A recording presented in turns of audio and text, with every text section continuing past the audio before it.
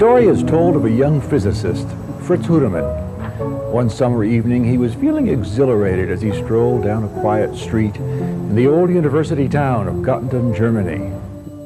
His girlfriend was at his side. She sensed his mood, looked up at the night sky, and said softly, Look up at the stars. Aren't they beautiful? Yes, replied the young physicist, and do you know, you are holding hands with the only man alive who knows why they shine. He was telling the literal truth.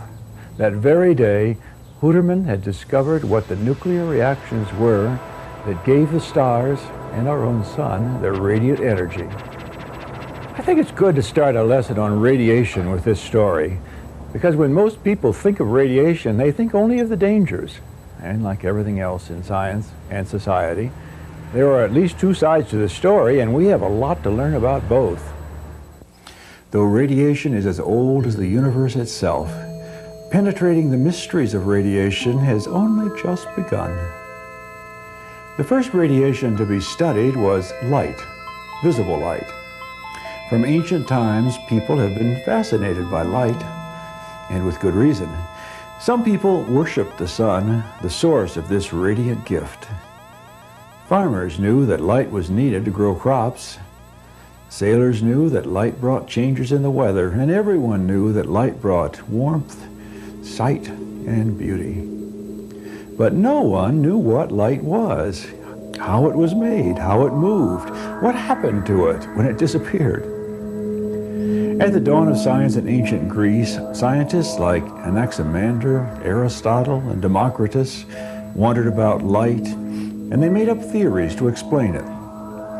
Democritus, for example, said light was made of tiny little bullets streaming away from sources like the sun. These little bullets would bounce off whatever they hit, warming it in the process.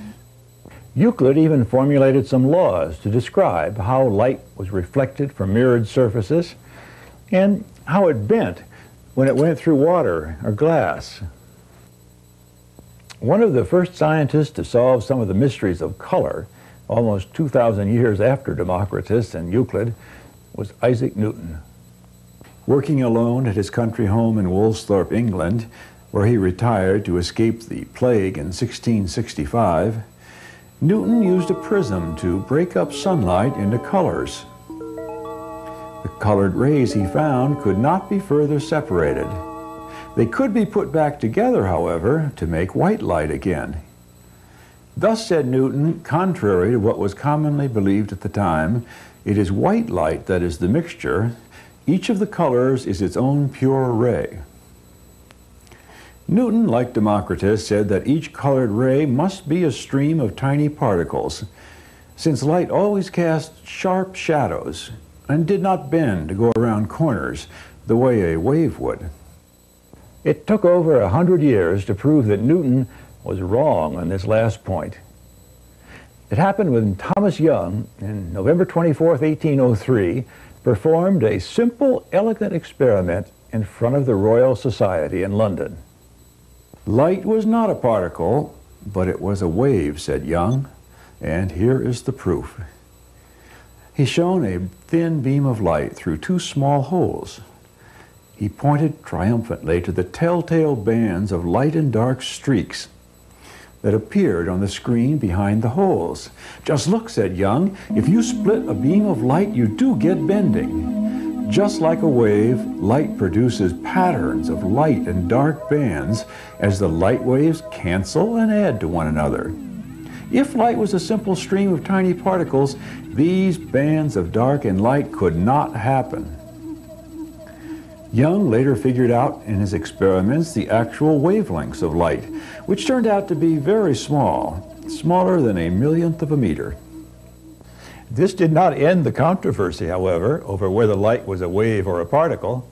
In fact, the controversy has continued right down to our own day. And the scientific view today is that light is both a wave and a particle. Let's look at how Newton's and Young's work opened the door to the widening spectrum of radiation. They studied the visible spectrum from red to yellow to blue and violet.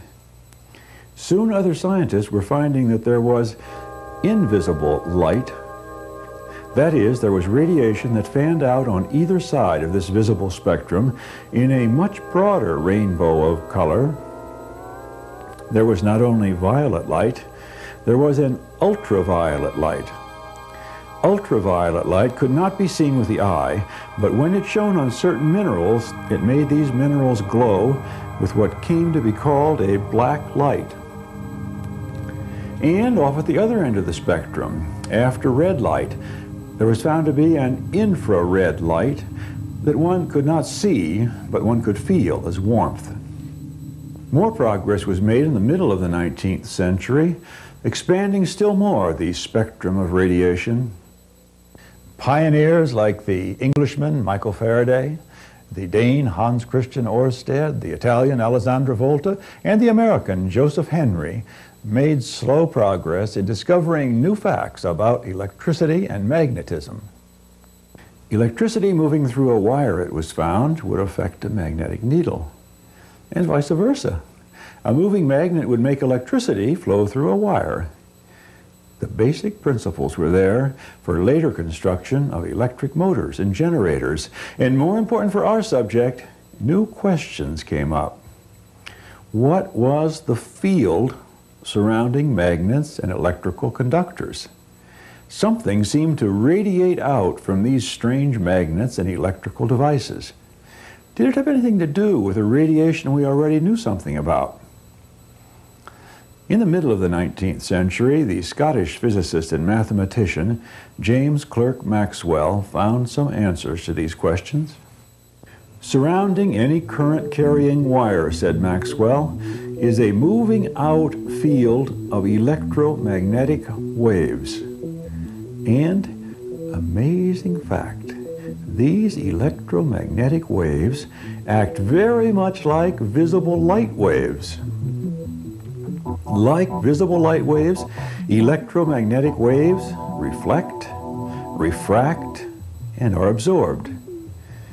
And, and here was the clincher, they move at the same speed and follow the same mathematical laws as light.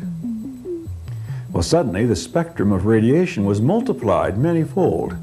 Not only do we have red, yellow, and blue light, not only do we have ultraviolet and infrared light, now we have a whole new world of radiating electromagnetic waves.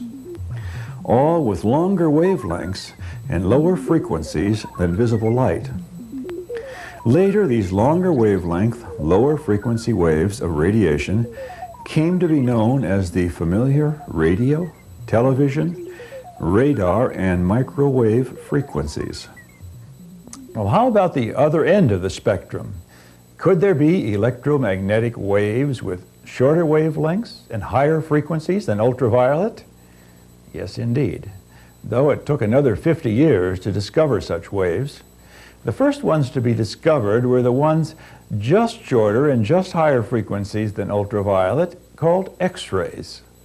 The discovery of X-rays by the German physicist Wilhelm Röntgen in 1895 was an international sensation. Working with vacuum tubes, he bombarded a metal plate with high-speed electrons, and he found that invisible rays were generated these mysterious new rays would go through skin and flesh and give a picture of a person's bones. His X-rays became world famous, as well as world misunderstood. A legislator in New Jersey, for instance, introduced a bill banning the use of X-rays in opera glasses in order to preserve the modesty of ladies. Well, X-rays soon found many valuable uses in medicine and in industry. It was, unfortunately, quite a few years later that a harmful side of X-rays was also discovered. They could be harmful to living tissue, it was found, or they could even cause cancer if the exposures were too great or too prolonged. So too, the next discovery in our radiation story, radioactivity. Here too, the first breakthroughs were made about the same time, around the turn of the century. Shortly after Röntgen discovered X rays, a Frenchman, Henri Becquerel, stumbled upon another kind of radiation. He found that the element uranium spontaneously gave off rays that would darken photographic plates, as did X rays, but these were not X rays. Marie Curie and her husband Pierre worked long hours in a drafty garage laboratory in Paris to isolate a new element, radium, that gave off very powerful new rays.